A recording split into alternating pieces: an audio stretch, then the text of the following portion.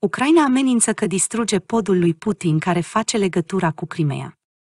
Serviciile de informații ucrainene au publicat un documente cu privire la caracteristicile tehnice ale podului lui Putin și au lăsat impresia că intenționează să-l distrugă.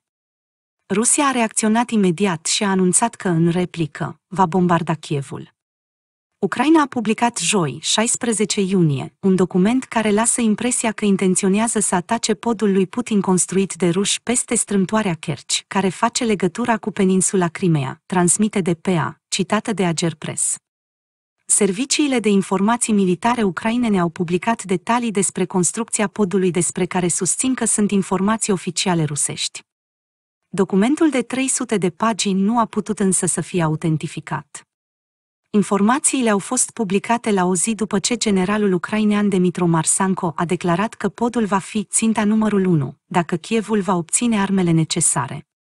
El a spus că Moscova folosește podul lui Putin, cum este cunoscut acesta pentru a transporta provizii în Crimea și în sudul Ucrainei.